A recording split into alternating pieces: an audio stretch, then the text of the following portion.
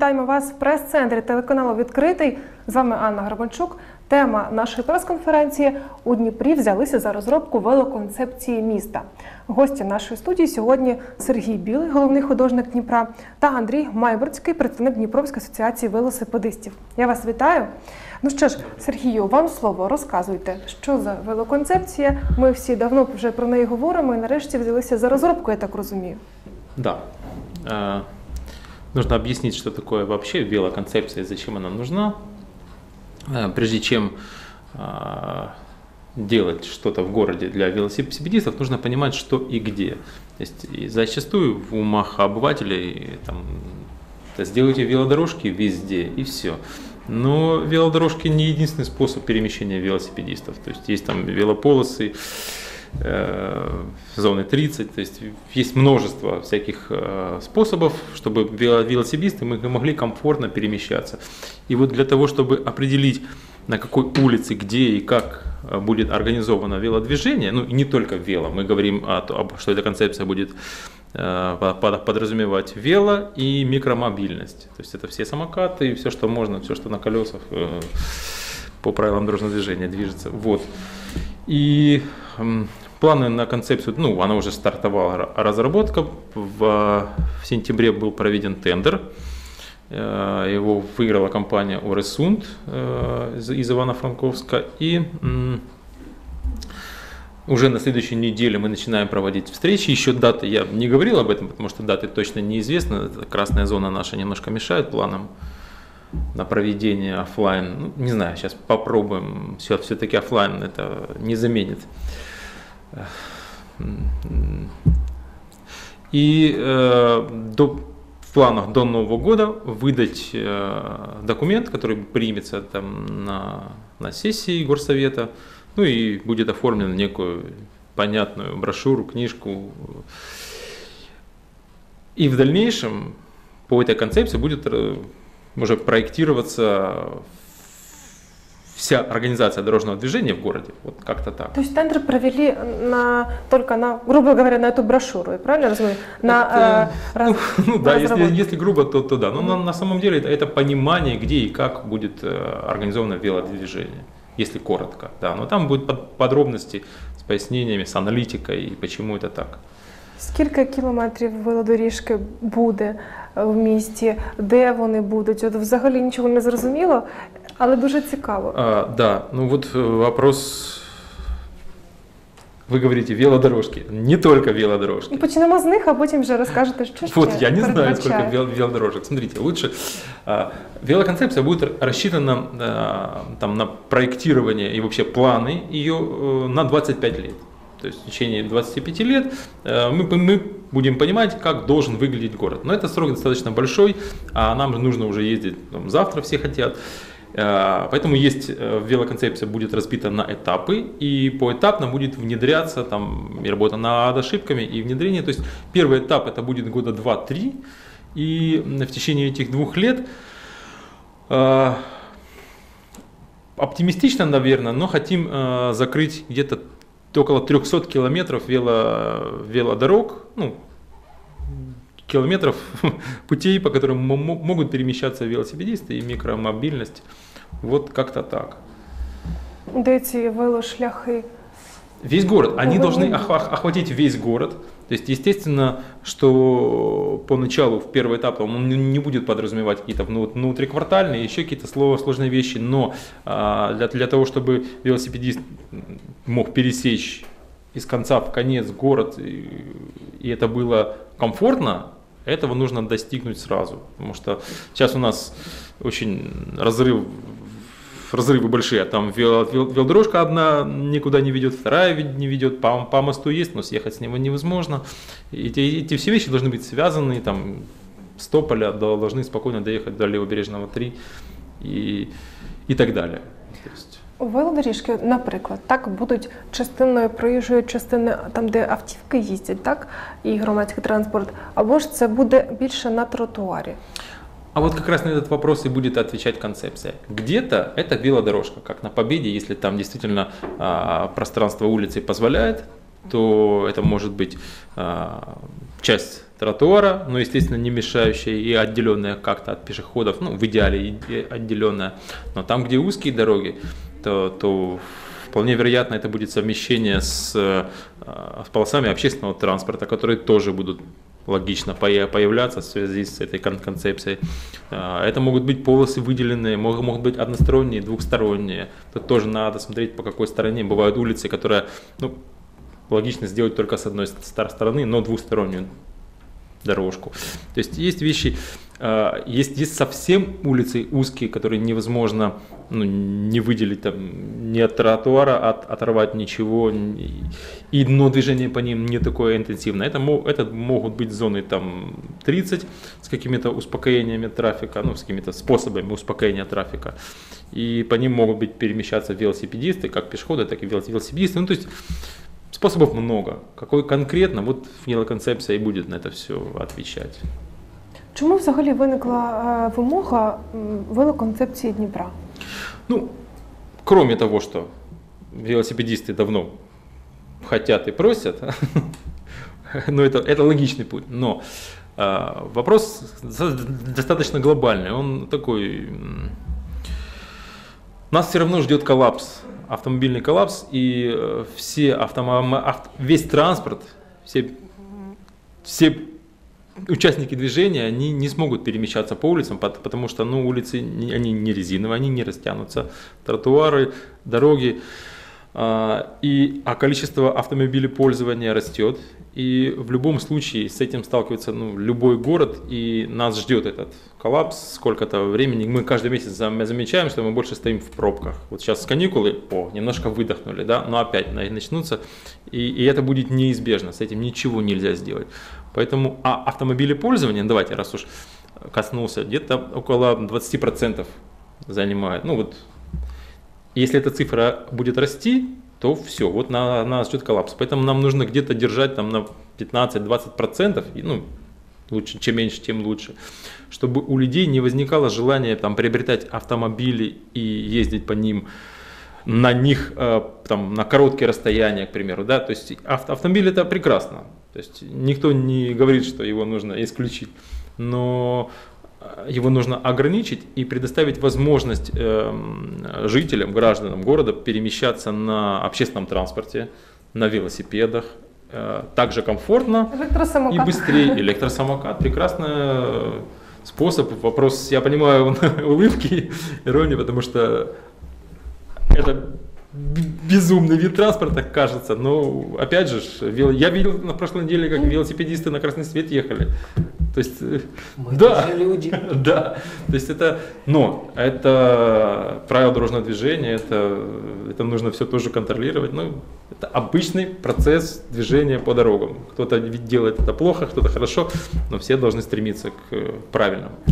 Андрій, вам слово. Як асоціація та спільнота велосипедистів Дніпра прийняла таку новину, як е, початок розробки велоконцепції міста? Ну, первая мысль была наконец-то. Э, дальше начался такой э, небольшой остров, потому что, ну, какое-то время назад это проходилось, но тогда это была э, программа, и казалось, пять лет назад казалось, что мы знаем, что делать. После этого прошли и изменения в будивельные нормы, и сама концепция поменялась, возникли, собственно, моноколеса, самокаты. То есть сейчас э, мы пообщались э, и между собой, и ожидаем. То есть мы тоже хотим эту э, концепцию посмотреть и почитать. То есть я понимаю, что это не брошюра, это какой-то как зачаток технического документа, Э, возможно, еще не полностью ТЗ, э, она должна ответить на вопросы, сможет ли велосипедист доехать с того же Тополя до Левобережного, какие будут, э, во-первых, очередность исполнения. То есть, да, хорошо, когда мы свяжем магистрали, но, например, есть районы, откуда людям тоже хочется ехать. Как только появится это понимание станет второй вопрос, э, сможет ли э, эта концепция добавить безопасности для велосипедистов. То есть, что сдерживает от использования велосипеда как полноценного транспортного средства для там, доехать на работу, доехать в зону отдыха. Это два фактора. Безопасность в процессе, ну и, собственно, э, велопарковки и охрана. Но это уже не касаемо велоконцепции, это просто еще один фактор, э, который сдерживает людей. Но первый стоит безопасность. То есть банально проехать по Слобожанскому проспекту, э, это и ливневки, и общественный транспорт. Если там будет, ну или хотя бы если мы начнем делить общую полосу, это уже будет хорошо. Я немножко добавлю, то есть для велосипедиста не столь принципиально, что это будет чистая велодорожка. Есть, э, назовем их так, определенные маршруты, которые настолько популярны, вы сейчас это можете видеть на Победе, где, возможно, действительно пора выделять отдельную велополосу. Просто сейчас на Победе катаются все. Все туда приезжают целенаправленно или в прокат, поэтому там сейчас небольшой перекос, перегруз. Да, ну, Андрій, чи мають е, радитися так е, компанія е, підрядник, яка виграла тендер з велосипедистами? Адже створити велоконцепцію Дніпра без велосипедистів, мені здається, буде важкувато, аби вгадати, що треба і як це робити. По-перше, наскільки я знаю, ця компанія там є велосипедисти в її складі. Оскільки я знаю Катерина. А, По-друге, ми, е, ну, буду казати за себе, я не професійний архітектор, я не знаю норм, але е, при тому я можу підказати архітекторам, як велосипедист хоче їхати. Е, Давайте такий поганий приклад. Курчатово цей переїзд е, 90 градусів по скільки там по 4. Ну це вже прям така, як більмо, саме ця, цей переїзд. Е, Велосипедисти, навіть там є велодоріжка, вони не будуть її користуватися. Бо вона, по-перше, ніяк не відокремлена від зустрічного потоку. Я просто там їздив, знаю, не хочу повторення. Е, Тому так, ми будемо за цим стежити. Якщо е, будуть певні або громадські слухання, або зустрічі, ми з радістю приймемо участь і максимально намагаємося тримати руку на пульсі.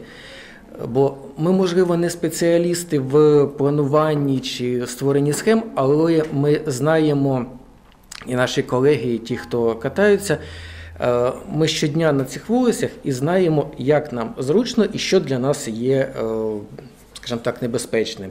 Дорога, водій або теж невиконання правил руху, бо велосипедисти це ж ті ж люди, тільки за кермом велосипеду. Е, Скажіть, будь ласка, які, на вашу думку, найважчі ділянки у Дніпрі для велосипедистів? Найнебезпечніші, я б сказала. Ну, скоріш за все, це буде е, набережна від е, пешеходного мосту на монастирський, тому що е, значний трафік, лівньовки і плюс, е, якщо їхати е, по правилам, то там всього 4 полоси і дуже щільний трафік. Це Слобожанський. Знову ж таки, ну, моє враження, що його потрібно е, зменшити, заспокоїти рух, бо 50, там ніхто 50 не їде, там їдуть значно швидше. А для велосипедиста все, що швидше 40, це вже, ну, якщо не вирок, то дуже серйозна травма. І це е, спуски, це і проспект Поля, і Богдана Хмельницького, коли є е, спуск вниз, е, велосипедисти вони самі починають розганятися, ну і, звісно, пересікаючи вулиці, становлять небезпеку. Це я навіть не згадую про те, що там теж є оці ливнівки, але зараз їх потроху приводять до ладу. да, уже лучше, да. І ще, ще таке питання. На вашу думку, чи змінилося щось за останні 3-5 років? Я маю на увазі а, культуру водіїв до велосипедистів. Адже часто водії а, ну, не вважають як повно, повноцінними учасниками дорожнього руху велосипедистів. Чи є така проблема і чи зменшується вона у нашому місті? Я не можу помітити якусь позитивну тенденцію. Дуже сильно наші відносини, наші це велосипедистів і автомобілістів, е, зіпсували доставка і голови, і ракета. Ті хлопці і дівчата взагалі не бережуть ні себе, нікого навколо. І це додає.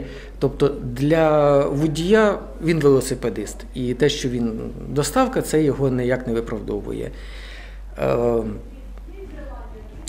Тенденцій нема, але це питання не навіть інфраструктури, це е, виховання і дотримання норм правил. Якщо всі будуть їздити за правилами, е, правила так побудовані, щоб нам було безпечно на дорогах і водіям, і велосипедистам.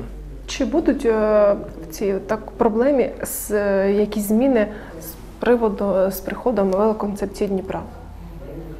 Чи змінить щось? щось? Це збільшить кількість велосипедистів. Я майже в цьому впевнений, тому що якщо зараз е, є певний зупиняючий фактор, що так в мене є велосипед, але я буду або на вихідних, коли мало машин, або взагалі лише на певні якісь, е, скажімо, туси велосипедні, коли нас багато, і це е, дає відчуття безпеки. Тому велосипедистів стане більше. Е, я очікую, чим більше велосипедистів, тим більше водії на них почнуть звертати увагу і будуть е, готові. Чому е, ми певний пік буває ДТП саме навесні. Е, велосипедисти знову масово з'являються на дорогах, водії за зиму від них забули, що це таке, що потрібно подивитися в зеркало, не відчиняти, якщо тебе обганяють. Чим більше буде е, велосипедистів, е, тим більш уважними будуть водії. Тож вони будуть знати і водії, і пешеходи, які теж люблять перебігати, що потрібно, е, ви вже не одні на цих вулицях.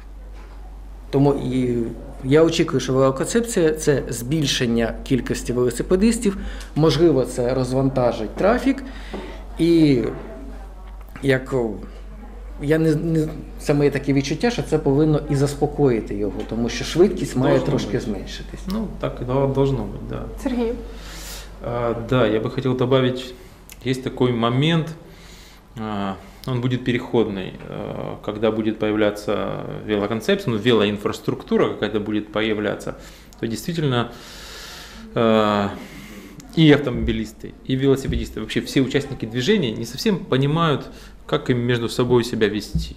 У нас этого вообще не было. И это во всех странах, это было жутко, там, вспоминая э, Копенгаген, по- по- почитая историю, как они к этому приходили. Сейчас замечательно все, все ездят, все довольны, и они дружат между собой, да, там, ну, исключения могут быть. Но а, это был очень сложный переходный период. Ну, вот наши автомобилисты, я, буду, я уверен, они будут предполагать, что у них отняли их дорогу.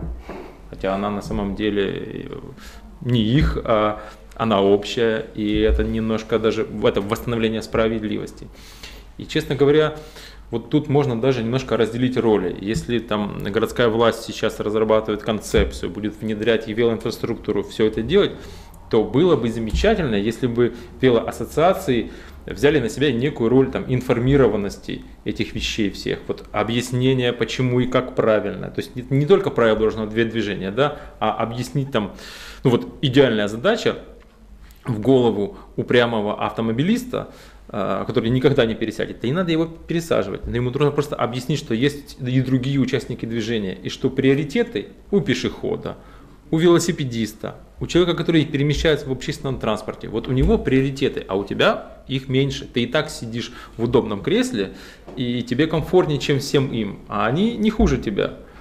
То есть этот мо- момент, вот если это удастся объяснить, то это будет, э, вот этот конфликт, он будет сглажен. Он будет, но он должен быть максимально, так, знаете, комфортный переход, и, ну, то есть все должны победить. Воевать в этом нет никакого смысла. і бу- Пока я на велосипеде, я освободил им, сколько это, 4 квадратных метра дороги. Пожалуйста, чем больше нас будет на велосипедах, тем больше у них будет возможностей меньше стоять в пробках. То есть Что ав- было сказано? Автомобилист, да, он предполагает, что пробка это потому, что узкая дорога. Нет, пробка это потому, что ты здесь стоишь. ну так, і кількість І це а, факт. автівок Это такой і заторів очевидно. справді більше з кожним днем все більше і більше ну, в годину пік. Дякую, що сьогодні до нас завітали. Ми говорили про те, що в Дніпрі почали розробку велоконцепції міста. У наших гостях був Сергій Білий, головний художник Дніпра, та Андрій Майбрицький, представник Дніпро, Дніпро, е, вибачте, Дніпровської асоціації велосипедистів. Дякую, що сьогодні до нас завітали. А ми з вами побачимося вже незабаром. З вами була Анна Гарбанчук.